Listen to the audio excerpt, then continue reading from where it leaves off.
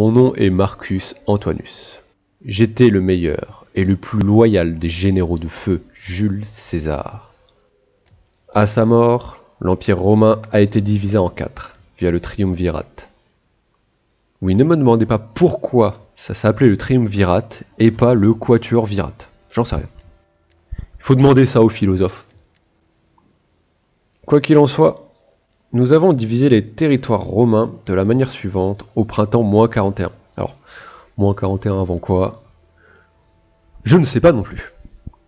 Bref, Pompée a hérité de la Corse, la Sardaigne et la Sicile. Lépide, lui, a hérité de la péninsule ibérique et l'Afrique. Octave a récupéré la Gaule et l'Italie. Quant à moi, j'ai hérité de la Grèce, de l'Asie et de la Syrie. Par des accords, j'ai un grand nombre d'États clients, c'est-à-dire d'États que je protège moyennant finance.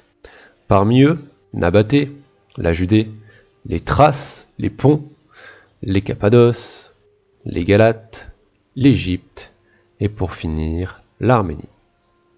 Dans un premier temps, je m'empresse de renforcer mes relations diplomatiques avec eux et établir de bonnes routes commerciales. Cela me permettra d'avoir un revenu plus stable, mais également de pouvoir avoir des matériaux plus rares, comme le marbre, le vin, ou du verre et d'autres.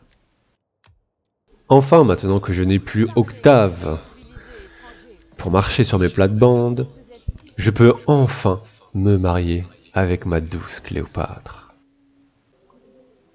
Mon premier objectif, qui a pour but d'augmenter la puissance de l'Empire, va concerner les villes et les cités. Je vais les développer au mieux. C'est un investissement lourd, certes. La fabrication, construire des monuments, construire des champs, des aqueducs. Mais la prospérité augmentera, et les taxes prélevées n'en seront que plus grandes à l'avenir. Ce même printemps, Cléopâtre a déclaré la guerre à la Judée, avec ma bénédiction. Ces terres faisaient partie de manière ancestrale à l'Égypte, ça leur permet de se protéger. Non, bon, d'accord, ok. euh, si vous saviez ce qu'elle m'a promis en échange, vous aussi vous l'aurez laissé faire.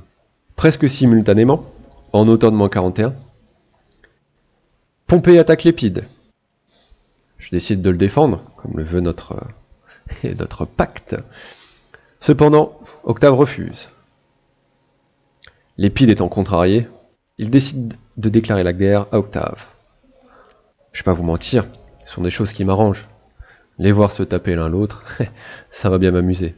Surtout que ça me permet de mon côté de me développer et de faire face aux menaces à l'Est. Et j'ai bien fait.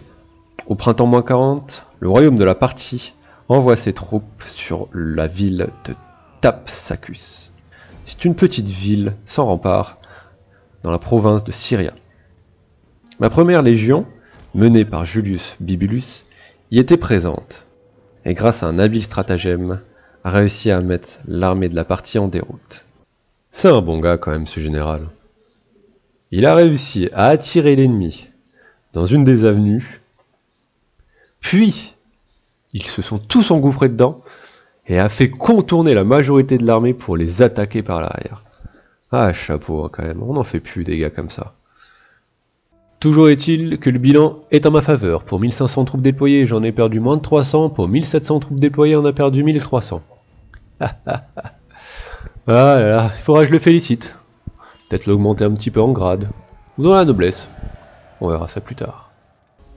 Mais à peine j'eus fini de lire le rapport de bataille que j'appris que les Roxolans ont décidé de déclarer la guerre aux pontes.